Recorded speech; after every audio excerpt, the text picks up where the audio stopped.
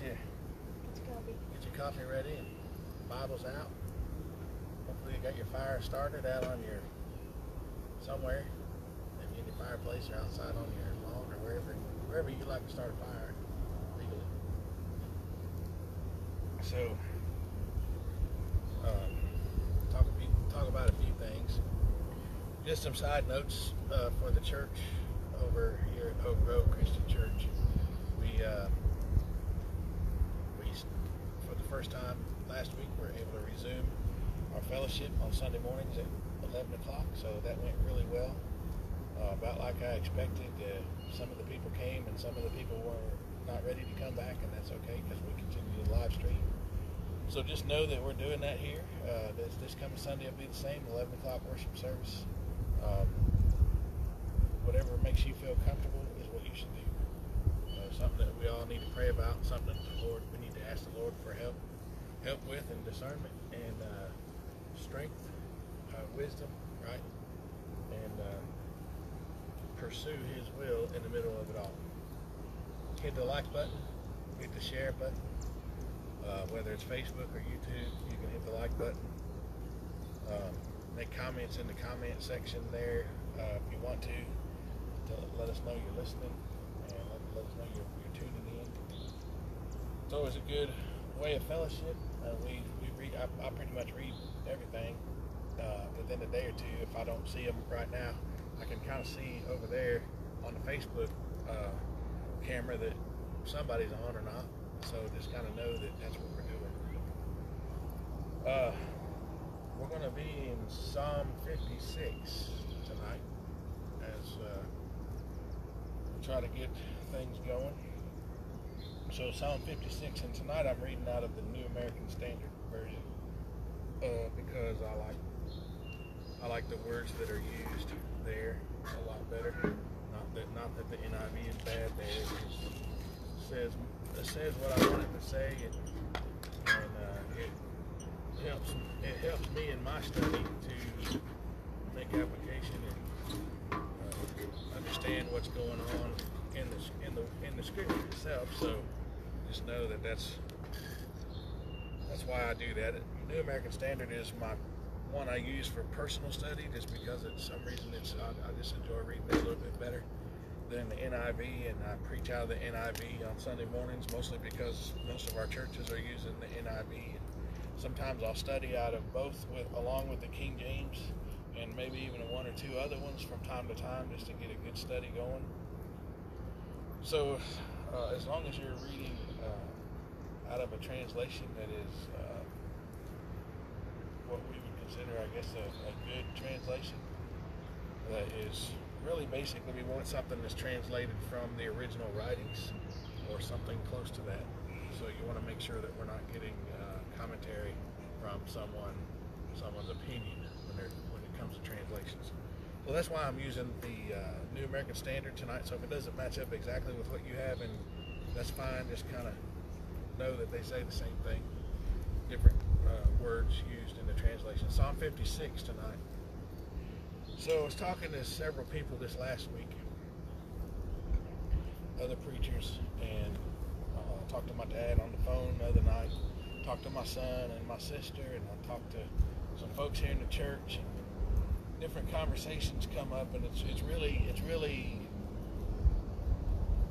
uh, challenging to get through a day without discussing what's going on in the world because it's all in our face all the time. And there's nothing wrong with discussing it, talking about it. There's nothing wrong with uh, trying to work through it together and seeking the Lord together if that's what we're doing. So just kind of know that we are definitely in prayer over all of that. And um, just know that uh, it, there's a fine line between discussing and trying to understand and seeking the Lord's will and how we participate in the world, the world's events and uh, and obsessing over over it and also getting caught up in it in a worldly way. So there is a des- there is a a, des- a definite need for the Christian to be in tune with the Holy Spirit. Uh, it's always been there. The need has always been there. It's it, we've always needed the Holy Spirit. We've always needed God's guidance. We've always needed to be on mission for the kingdom of God. Uh, it just seems like right now, because of various different uh, events and happenings around the world and in our own neighborhoods, things are uh, pretty obvious that the need is there.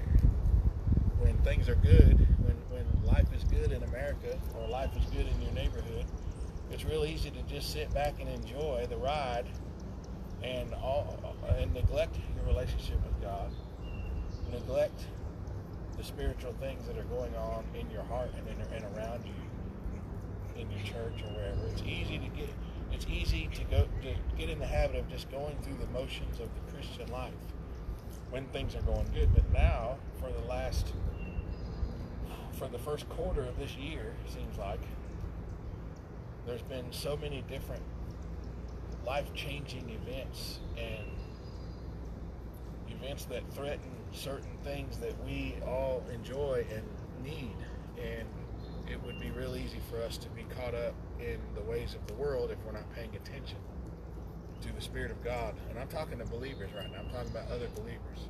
You can't, I mean, you, we can't expect people who aren't saved to act like Christians.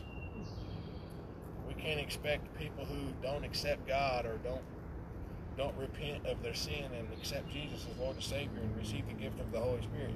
We can't we can't expect people who who don't live in that to live by the Word of God. We would like for them to do so, but we can't expect that from them because they've never made the commitment that they would do so. However, that we believers we have made that commitment. We said we wanted Jesus to be Lord and Savior. We said that we believe that He is the Christ. We said that we don't want to live a life that offends God anymore. That's repentance. We've been baptized for the forgiveness of our sins, and we have received the gift of the Holy Spirit. So now we're obligated by our own commitment to the body of Christ, to the kingdom of God, to we're obligated to find out what the Word of God says about our behavior in all situations, in all parts of our life. There's an airplane about to fly over, so uh, take a drink of coffee and I'll wait for it. There's a, I know it's not going to land here heartbeat for those of y'all that think it will. So, going back to what I was started saying is I've been having conversation with a lot of people over the last several, probably last week or two. It seems like every day it's gonna, every, every no, it's almost like there's nothing else to talk about when, when, when there is. But it's just there. It's all up in your face.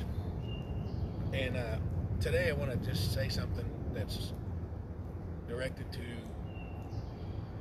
toward other Christians that if you know me and we're connected that way, if we know each other, uh, I'm talking to you.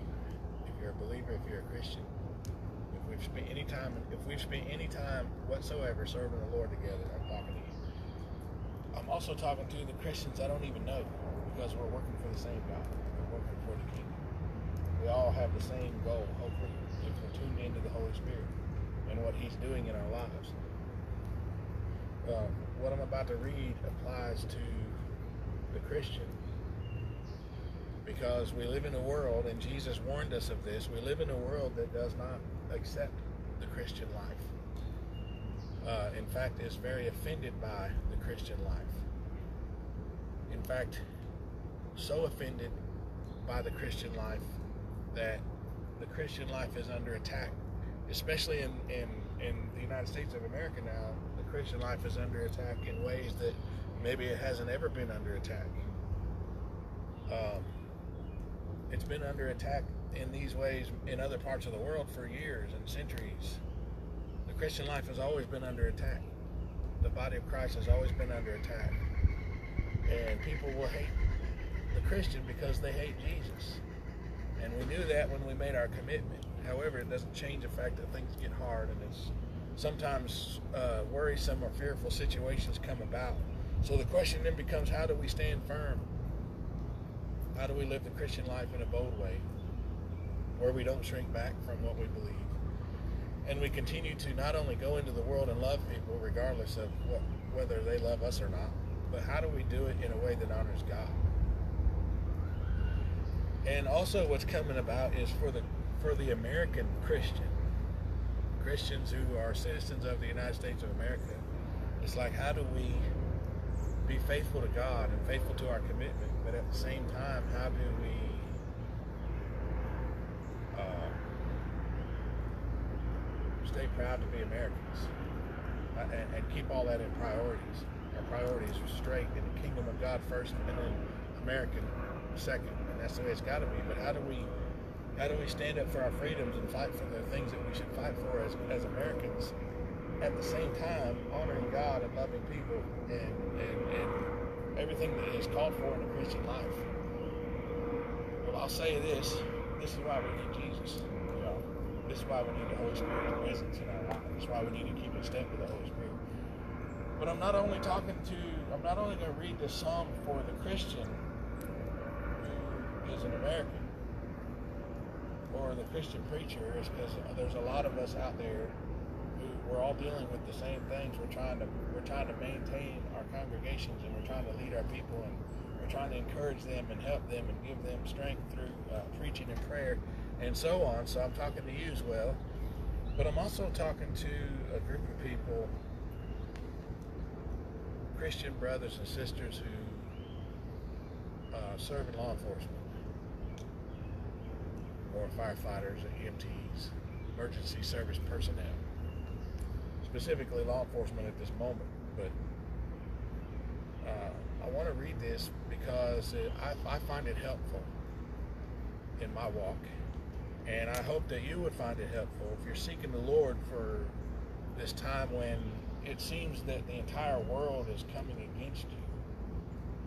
The entire world is hating you and everything that's eh, wrong in the eyes of many is the fault of law enforcement or the fault of the Christian or, or the fault of the Christian law enforcement officer. Right? And it's, and it's like, you know, I, I, I, have told this to many people over the last two weeks just in conversation. And I don't say it in a bragging way. I say it because it's how I feel. But because I'm a white man who's a Christian and a preacher and a law enforcement officer, I'm the, I'm the most hated man in the world. This is how I feel. Now I realize, before y'all start saying it myself on the comments, I realize that there's a lot of people who know me, who love me, and care about me. But when I'm talking about in the spectrum of what's going on in the world, that's how white people feel. That's how white males feel. That's how white law enforcement officers feel, male and female. Okay, that's how we feel. So, what do we do with our feelings? We, we have to go to God. We have to take it to the Lord. We have to ask the Lord, okay, what do we do with this? How do we respond? Especially if we're believers, right? If we're Christians, if you believe that God is God and you trust Him and have this relationship with Him, then we have to go to Him even with this and say, what what about this? What can I do and how does this, how do I make this honor you? How, how do I do it? And uh, Psalm 56 helps me because uh, the psalmist here in Psalm 56 uh, was seized by the Philistines, right? The enemies had seized the, psalmist. And here's the words, and I'm going to read the whole thing straight through. And then we'll talk about it a little bit. And then we'll be done. We won't, we won't talk very long. Because I'm, I'm going to let the word, I'm going to let this, the scripture speak for itself tonight. So if you're law enforcement or if you're a Christian who's uh, living in a world where everything is coming down on you because you're a Christian or because you're law enforcement or because you're a white person or because uh, because maybe because you're a black person, maybe because you're anybody who is a believer who all you're trying to do is love people the way God wants you to, and it just seems like everybody and everything in the world is against you. This is the, this is where to go to get words from the Lord. Verse one of Psalm 56: Be gracious to me, O God, for man has trampled upon me uh, fighting all day long has oppressed me. Uh, he oppresses me. My foes have trampled upon me all day long, for they are many, for they are many who fight proudly against me. When I'm afraid, I will put my trust in you. In God, whose word I praise. In God I have put my trust. I shall not be afraid. We can, what can mere man do to me? All day long they distort my words. All their mm. thoughts are against me for evil. They attack, they lurk, they watch my steps, as they have waited to take my life. Because of wickedness, cast them forth, in anger put down the peoples, O God. You have taken account of my wanderings. Put my tears in your bottle. Are they not in your book? Then my enemies will turn back in the day when I call. This I know, that God is for me. In God, whose word I praise. In the Lord, whose word I praise. In God have I put my trust. I shall not be afraid. What can man do to me? Your vows are binding upon me, O God. I will render thank, uh, thank offerings to you. For you have delivered my soul from death, indeed my feet from stumbling, so that I may walk before God in the light of the living. Isn't that great, y'all? The entire 13 verses of Psalm 56 are words of reminder and encouragement, courage, and and hope because it's a very hard thing to receive when uh, even one person expresses hatred toward you. But when it seems like an entire nation expresses hatred toward you, Christian, or Christian law enforcement officer, or even not saved law enforcement officer, or anyone else in the world that feels the hatred that's going on directed at them. These this is this is the psalmist here is calling out to a God that he trusts. He's calling out to a God whom he had a, a relationship with, whom he had confidence in. Even though he had been uh, seized and captured by his enemy who hated him, he still had full confidence in his God. Full confidence that his God could handle the situation.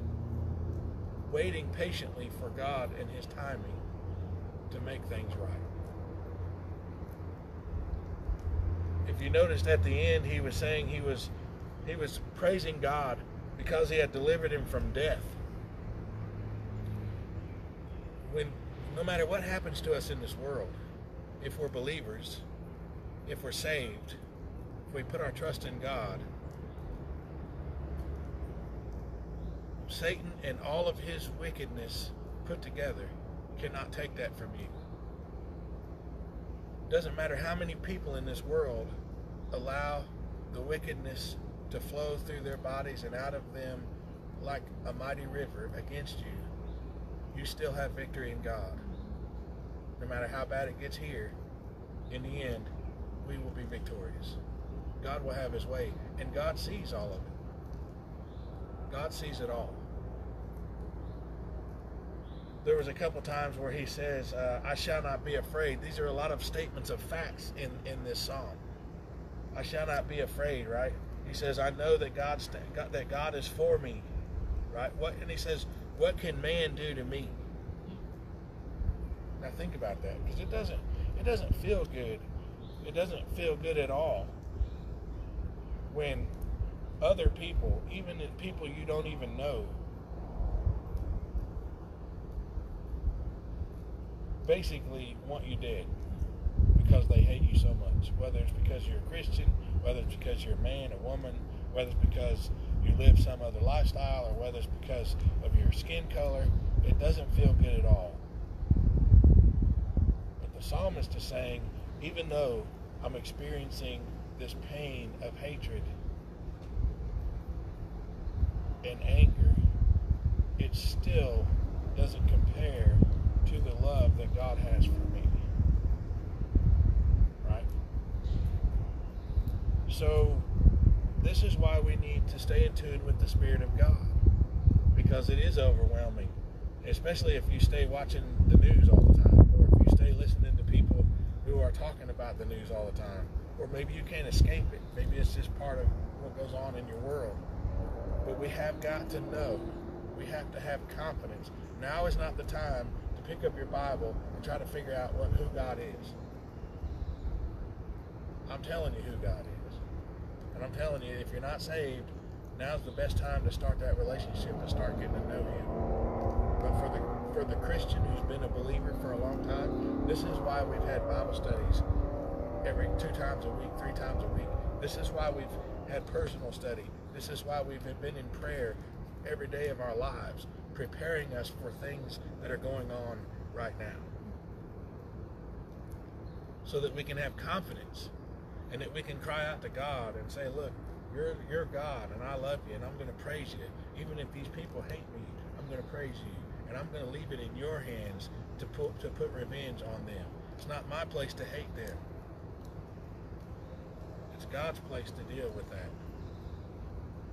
And once we get tuned into that, as much as, as, as hard as as hard as it is even to say out loud, God wants us to know that Jesus died even for them who hate us, for those who hate us, for those who run us into the ground, for those who treat our families poorly because of their opinions and their ideas, because they reject God even.